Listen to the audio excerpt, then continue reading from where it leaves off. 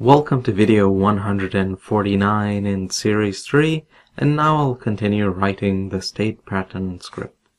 Okay, so I'll start by filling in the awake method.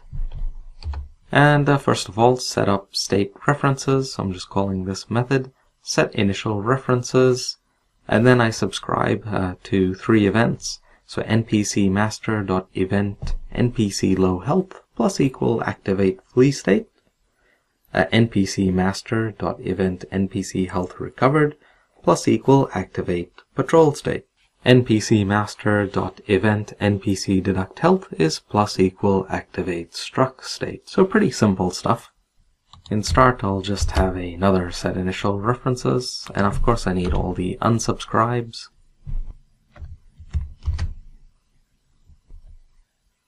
Okay, so I have there the three unsubscribes. Now I also have this here, a unity method, stop all coroutines. Since there's a coroutine in the script, and it could still be running when the um, NPC dies, I have this here just to stop any possibility of errors coming up because of uh, the coroutine still running in the background as this is being uh, disabled. So that just stops the coroutine. Okay, so inside of the update method, carry out update state. You'll see that in just a bit. I will not be uh, filling in the setup state references just yet because that's where I actually initialize each of those, um, each of these. And uh, in order to do that, they need to have a constructor inside of them, but we haven't written that code just yet, so we'll come back to that. Inside of uh, set initial references, I'll just simply uh, have a reference to the nav mesh agent as you can see and also activate patrol state. So the very first state that the NPC should go into is patrolling. Okay, in a carry out update state. So it's pretty simple. If time.time .time greater than next check, then next check is equal to time.time .time plus check rate, current state dot update state. And you'll see that uh, that you know each of the behaviors has an update state method. And in this way only one of those scripts is being called and its behaviors are running and all the others are just sitting quiet. And so it's a lot more efficient that way. And that's what we're doing right here Alright, so next is activate patrol state, and inside of that, just write current state is equal to patrol state. At the moment, it won't do anything. We have to write the constructor and write up all those other scripts, the details in them, and then initialize them in this script. Okay, next, activate flee state. Now this isn't going to make any sense at all until I explain it in just a bit, uh, but just what I've written here is if current state is uh, struck state, then captured state is equal to flee state return. And outside of that if block, uh, I've written current state is equal to flee state. Okay, so it will make no sense. I'll explain in a moment. Alright, so inside of activate struck state, there's a uh, fair bit to put in. Okay, so in activate struck state, I've got, first of all, stop all coroutines. So what is this for? So if the uh, NPC is struck, then they will go into a struck state uh, and they'll remain in it for this duration, 1.5 seconds. And once they're recovered, then they return back to their normal state and etc. But what if the NPC is struck while they are in the struck state? So let's say they've done one second of the duration and then they're struck again. Well, I don't want them to recover. I want the timer to reset. So if we didn't reset, stop the coroutine, then even though they were hit again, they'll just get up after half a second more. So they'll get up too quickly. Uh, so for that reason, I cancel this coroutine uh, if they are struck again. And that's what's happening here. Now I'm saying here, if current state is not equal to struck state, then the captured state is equal to current state. Uh, you'll see that the captured state is going to be used by the coroutine. So once the enemy has been struck, they will enter the struck state. But what state were they in before they were struck? So that's what I capture here. And um, and then, of course, at the end of their uh, recovery, when they recover, they will be returned back to the state they were in. And so that's why here in the activate flee state method, I said here, if the current state is the struck state, then just put the flee state. Just put this as the state to assign. So that way when they're struck, they'll return back to the flee state instead of uh, something else. Okay, so let's just go through this code. So as I was saying, if current state is not equal to struck state, uh, then the captured state is equal to current state. If range weapon is not equal to null, uh, then range weapon dot set active false. So if you had a proper gun holding animation uh, that has also included like a struck or a knockback animation with while holding the weapon, you don't need to do this. In this case, um, since there aren't any that are freely available, so I'm just doing a bit of a hacky job here, which is to just hide the weapon so it doesn't look really odd when the arranged enemy is struck, or rather a ranged NPC is struck. Uh, then if my navmesh agent dot enabled, then stop my navmesh agent dot stop, so they will stop going to their destination.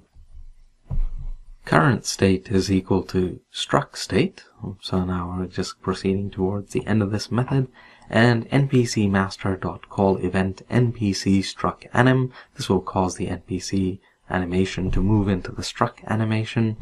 Start coroutine recover from struck state. Okay. So now let's uh, fill in the coroutine. So this is the recover from struck state coroutine and after the yield statement, so after it's waited that duration, npc master dot call event npc recovered anim. So this will cause the animation uh, state, the controller to return back to the normal animation, the idle, and if range weapon is not equal to null, we'll activate that range weapon again. If my navmesh agent dot enabled, resume, so my navmesh agent dot resume. And uh, finally, current state is equal to captured state. So that means return us back to whatever state we were in before we were struck, except the struck state. So if, if for example, they enter the struck state and then they're shot again, uh, then they're currently in the struck state. So that's why we ignore that uh, up above. So there you go. Okay, so let's keep going. So in on enemy attack, we have here if pursue target is not equal to null, then if vector3 dot distance transform dot position and the pursue target dot position is less than or equal to melee attack range, so they're within range, then vector3 to other, uh, and so I'm just capturing here a value which I can then use to check whether they're in front. So vector3 to other uh, is what I've called it, is equal to pursue target dot position minus transform dot position then another if statement, if vector3 dot dot, brackets, to other, and transform dot forward, so comma transform dot forward is greater than 0.5f. So that uh, what I'm here, I, what I'm checking here is that um, is the pursue target in front of the NPC. So if the uh, pursue target is in front of the NPC, then they should be hurt. So that's all this is. So, you know, when the uh, attack animation, the melee attack animation on the golem is reaching near the end, I had an event on it that looks for a method called on, on enemy attack.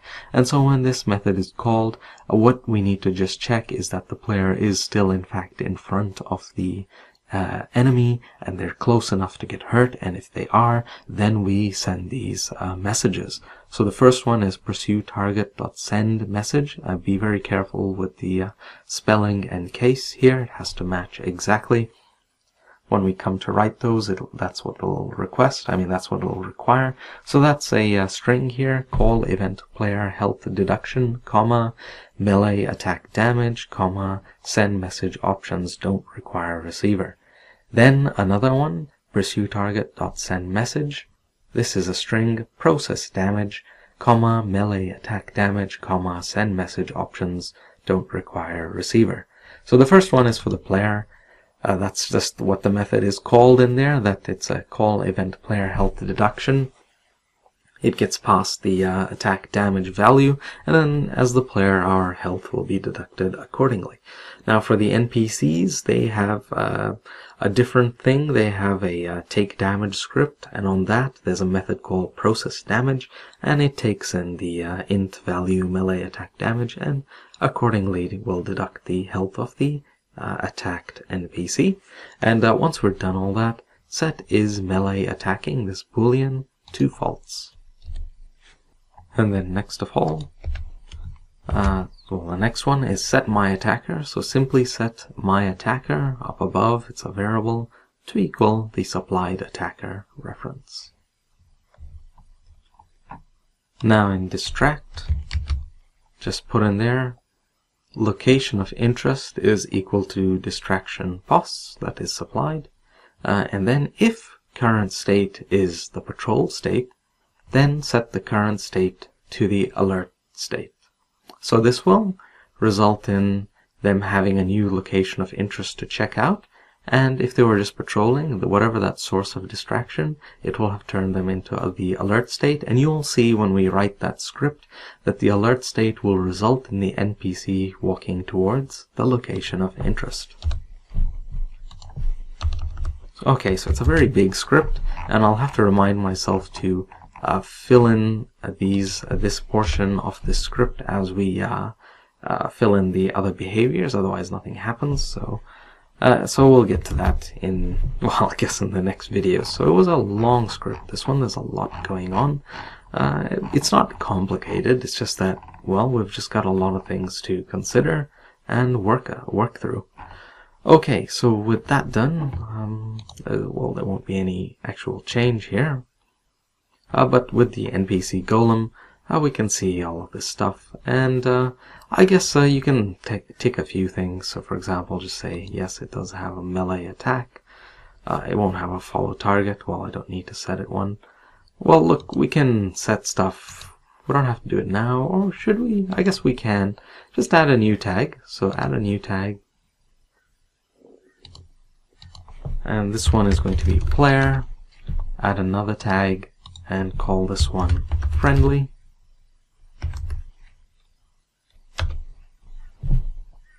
And so go back to the enemy golem and uh, in the uh, enemy tag set the size to 2 and just say player is one of them and friendly is another so that would be friendly AI.